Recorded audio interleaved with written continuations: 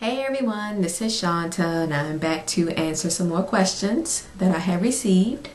Um, first one that I get a lot has been how long did it take for you to, to take down your locks? And it was three weeks. And within those three weeks, I didn't necessarily work every day um, because each lock took about a half an hour to an hour to take out. So um, quite time consuming and some days when I came home from work I just didn't feel like it. So on average I say I probably at least did about two a day and then really concentrated on the weekend and getting a lot done.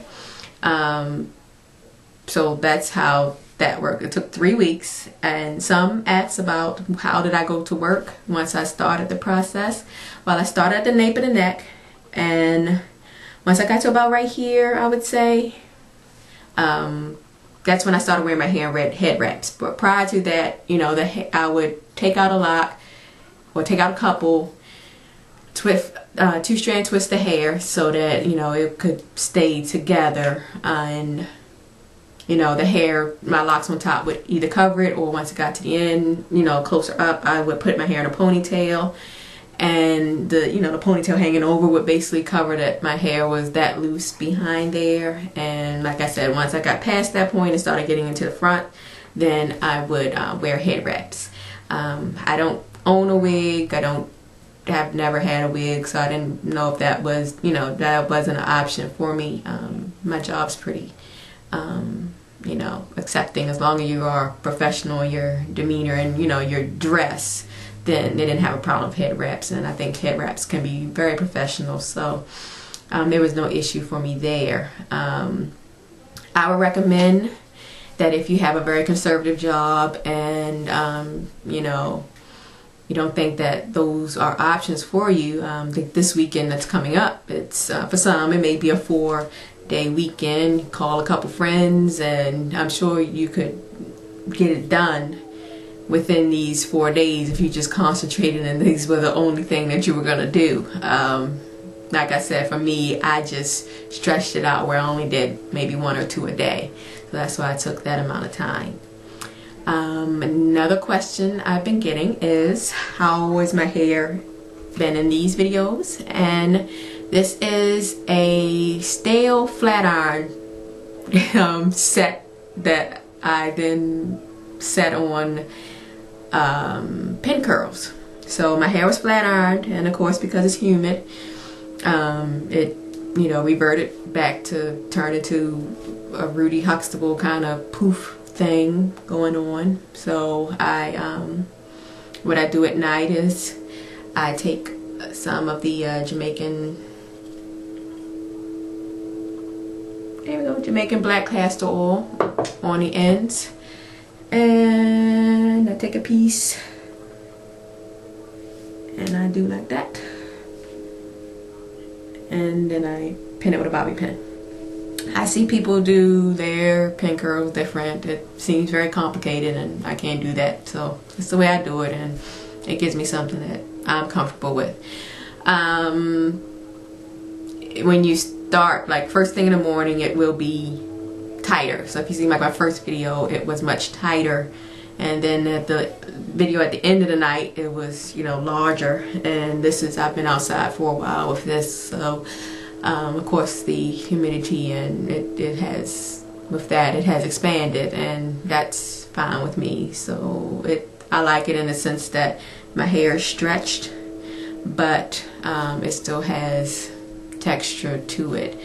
And yeah, one question that I get is how do I like having this, you know, loose hair now? And I will say that is one thing that I do miss. I miss having hair hanging um, around my face or framing my face like I had with the locks. I think I've gone grown accustomed with my hair being that way and not that I think I look bad when my hair is eh, like in a puff or anything like that. It's just that um, it's just not how I've gotten used to seeing myself or you know sometimes it's like when smallest things like when you put on makeup and sometimes it seems like it just doesn't seem the same or doesn't look the same on you because even though this is a look that you do all the time but without having something framing around it just kind of um, for me it just doesn't seem like certain things just don't look the same.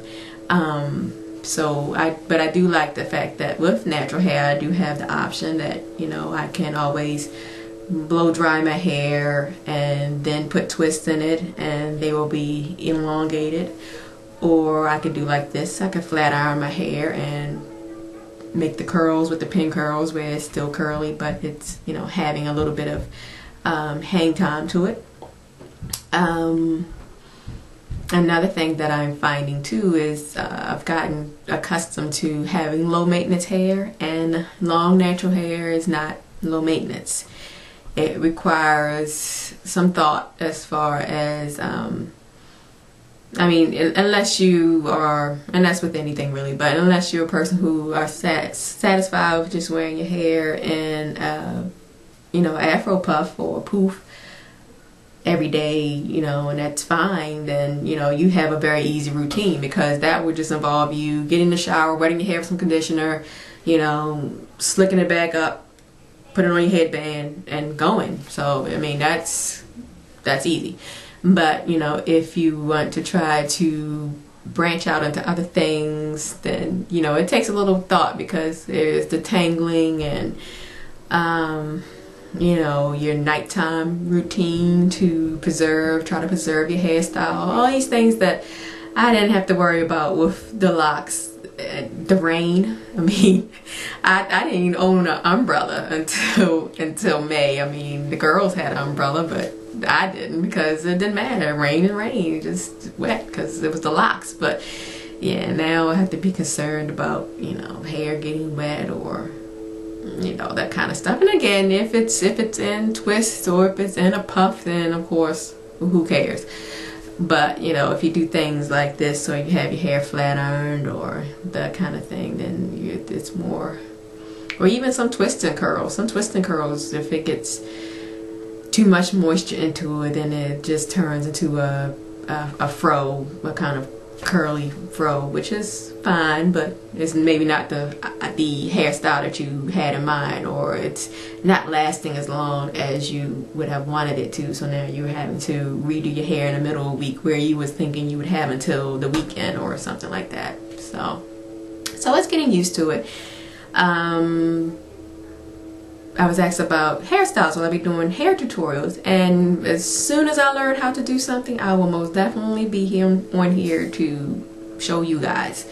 Um, I see a lot of videos where, you know, basically everybody's doing the same thing. I mean, if you were like Shawnta 715's perspective on pin curling or flat ironing or flat twist or you know, two strand twist, you know, I'd be more than happy to oblige you with that. Um, it's just I, I do see a lot of it on here already. Um, and there's only but so many ways that you can do something, but hey, you know, I, I wouldn't mind if you would like to see it. Um, so far, um, haven't really got into style styles. I plan to try to do a mohawk eventually um, with my out hair um, certain things like that. If I do a full head of two strand twists, then I would definitely be able to help uh, some of my shorter lock subscribers as well as my twist wearers could be able to show them some styles with the shorter hair that I wasn't able to do with the longer locks. Um, let's see. Am I forgetting anything? Let me see if I can see a question on my phone really quickly. Okay, yes. I was asked by Kaylee if I thought uh, sister locks could be taken out. And I would think that that would probably be more trouble than it would be worth to try to take out sister locks. Um, the loops I think would just be too small, too tight, and the lock in themselves would be so little that it probably would not be worth it. You'd be doing all that untangling for to to have one one strand of hair, you know, from coming from your scalp. So I, I would not attempt it with sister locks. Okay, so of course I will probably be back later on today as I get questions in my inbox. Um, so until then, peace.